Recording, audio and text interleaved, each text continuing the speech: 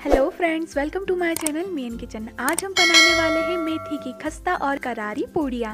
इन पूड़ियों को आप नाश्ते में, बच्चों के लंच में या फिर अगर आप कहीं सफ़र पे जा रहे हैं तो इन्हें बनाकर ले जा सकते हैं। और ये खाने में बहुत ही खस्ता और स्वादिष्ट होती है। तो चलिए इन्हें बनाना शुरू करते हैं। तो मेथी की पूड़ी बनाने के लिए हमने 200 ग्राम मेथी ली है। इसे हमें अच्छे से धोकर काट लेना है। तो मेथी को हमने अच्छे से धोकर काट लिया है और अब हम इसमें तड़का लगाएँगे। तो तड़के के लिए हमने गैस पे रख दी है कढ़ाई और इसमें हम डाल देते हैं टू टेबल स्पून ऑयल तो ऑयल गर्म हो चुका है। अब हम इसमें डाल देते हैं जीरा, कद्दूकस किया हुआ लहसुन, कद्दूकस किया हुआ अदरक और कुटी हुई हरी मिर्च। मिर्च को आप अपने टेस्ट के अकॉर्डिंग कम या ज़्यादा कर सकते हैं और आप चाहे तो इसमें लाल मिर्च भी डाल सकते हैं। और इसे हमें हल्का सा भून लेना है।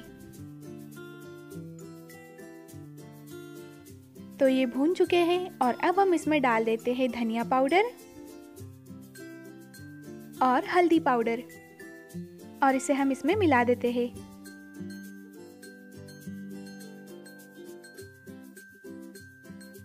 अब हम इसमें डाल देते हैं मेथी। और मिला देते हैं। हमें इसे एक दो मिनट ही पकाना है, ज़्यादा नहीं पकाना है। और डाल देते हैं इसमें थोड़ा सा नमक। अब हम कर देते हैं गैस को बंद और इसे एक कटोरी में निकाल लेते हैं।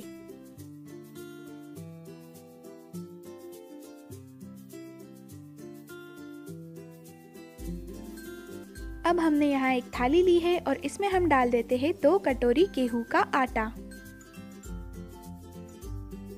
आधी कटोरी बेसन और डाल देते हैं हम इसमें थोड़ा सा नमक। नमक हम इसमें ज़्यादा नहीं डालेंगे क्योंकि हमने मेथी में पहले ही नमक डाल दिया है। एक चुटकी हींग, अजवाइन और डाल देते हैं तड़के वाली मेथी।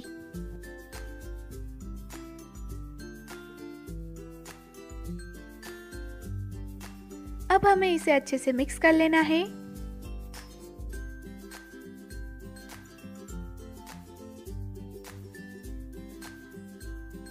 इसके साथ ही हम इसमें डाल देते हैं हरा धनिया।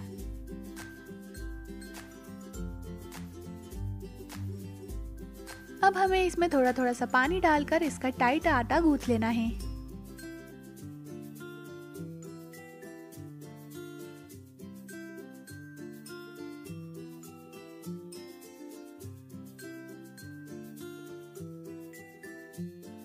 तो हमने इसका टाइट आटा गूथ लिया है। अब हम इसे ढककर चार से पाँच मिनट के लिए रेस्ट करने देंगे। तो डो ने रेस्ट कर लिया है और अब हम इसकी लोइया बना लेते हैं।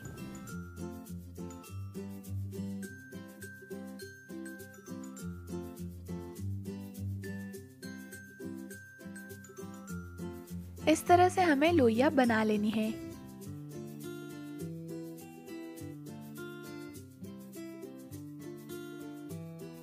तो लोइया बना ली है और अब हम इसे बेल लेते हैं। और पूड़ी बनाने के लिए हमने यहाँ ऑयल लिया है, जिससे कि ये बेलते वक्त चिपके ना।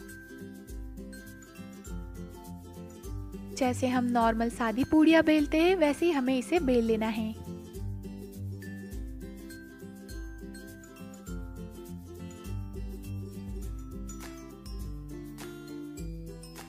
तो ये पूड़ी बेल लिए हमने, इसे हम रख देते हैं एक थाली में। इसी तरह हम बाकी की पूड़ियाँ भी बेल लेंगे।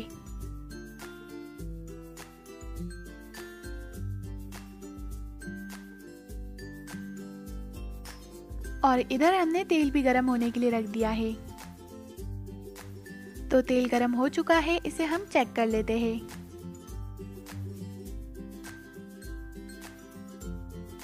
तो तेल अच्छे से गरम हो चुका है, इसमें हम पूड़ियाँ तल लेते हैं।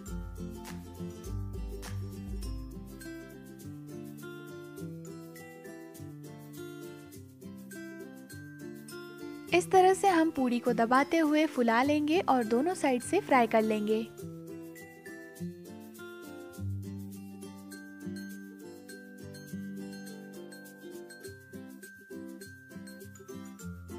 तो दोनों साइड से पूरी फ्राई हो चुकी है और इसे अब हम निकाल लेते हैं।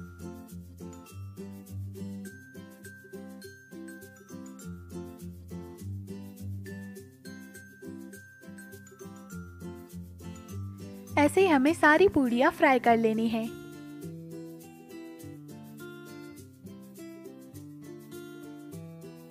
तो ये भी दोनों साइड से फ्राई हो चुकी है, इसे भी हम निकाल लेते हैं।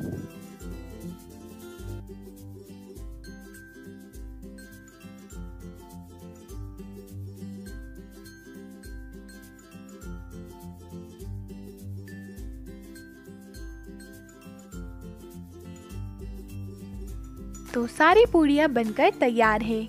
अगर इस तरह से पूड़ियाँ बनाते हैं तो पूड़ियाँ काफ़ी खस्ता और कचौरियों की तरह स्वादिष्ट लगती है। इन पूड़ियों को आप दही के साथ, चटनी के साथ या फिर सॉस के साथ खा सकते हैं। अगर आपको मेरी रेसिपी अच्छी लगी तो प्लीज़ मेरे वीडियो को लाइक कर दीजिए, मेरे चैनल को सब्सक्राइब कर दीजिए और साइड में लगे हुए बेल आइकन को भी दबा दीजिए, ताकि जब भी मैं नया वीडियो डालूँ तो आपको उसका नोटिफिकेशन सबसे पहले मिले।